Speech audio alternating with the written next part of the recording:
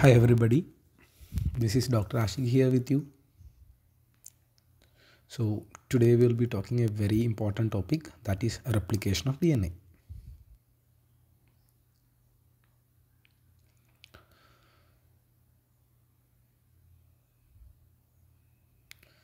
The model of replication of DNA, as everybody knows, it's proposed by Watson and Crick.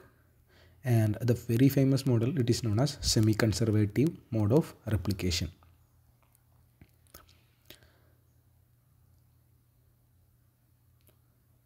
This mode is experimentally proved by two other scientists who's known as Meselson and Stahl. So I'm not gonna details of these things. So we'll be studying that later.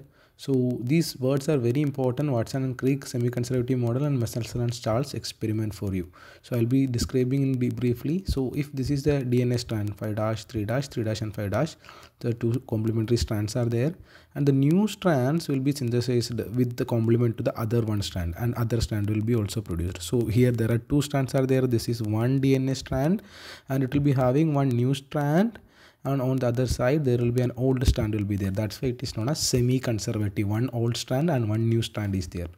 So here we will be going to discuss the detailed mechanism. I'll be uh, i'll be wrapping up this discussion only to the NCERT level.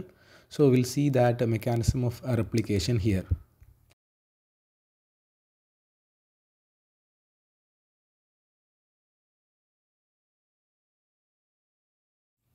the first thing we have to discuss is the enzyme for replication so everybody know that it is creating a new dna from an old dna old dna become new dna since a new dna is formed the enzyme is known as dna polymerase since it is depending upon the old dna we'll be calling it as dna dependent so the total name for the enzyme will be coming like dna dependent dna polymerase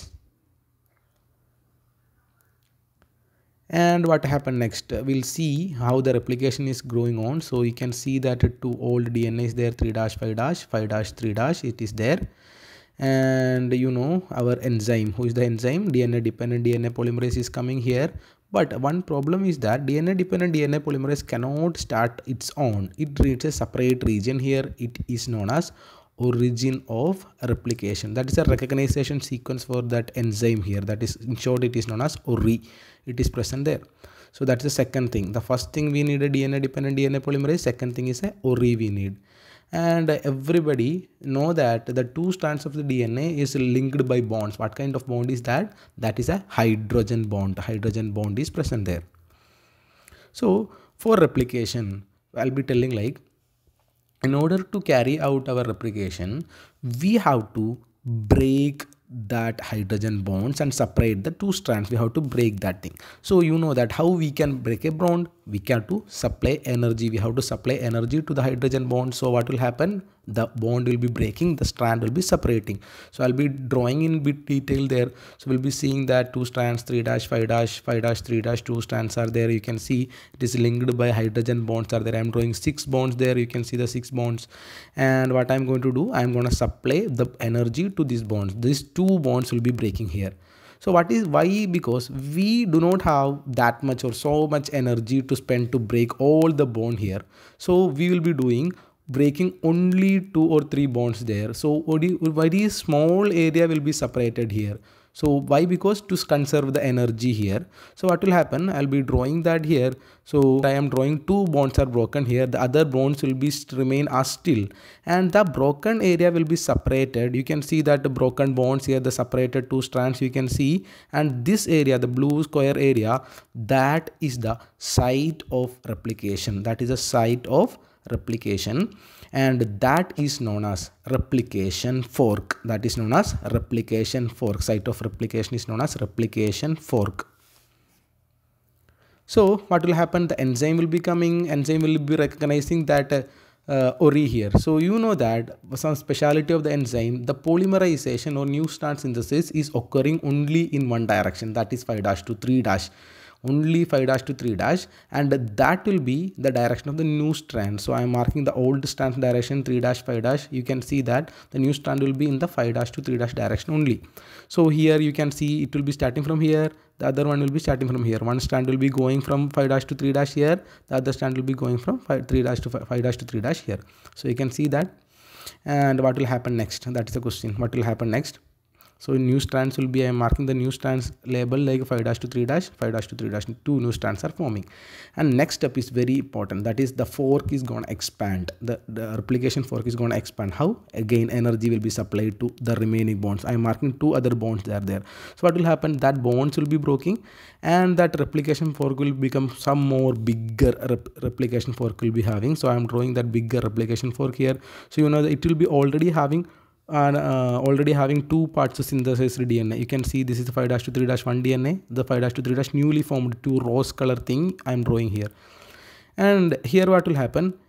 You know that enzyme will be continuing from 5 to 3 dash. So the template strand will be starting from 3 dash to 5 dash here. So you can see that it will be continuing one side it will be continuing directly on the other side it will be starting from here because on from the other side it cannot continue to the opposite side so it will be coming to this side only. So one side it will be going continuously other side or one extra piece will be coming.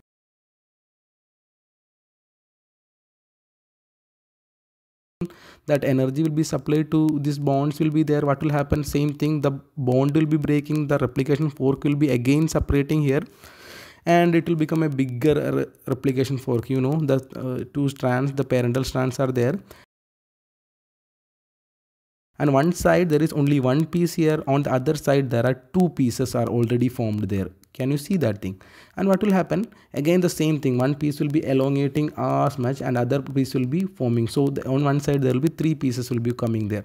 So i'll be naming that thing. So, this strand what i'm marking here that strand one num number one here one two three strands are forming there. So one strand that strand i'll be calling it as a continuously formed strand or continuous strand and on the other side I'll be marking it as a discontinuously formed strand or discontinuous strand is there.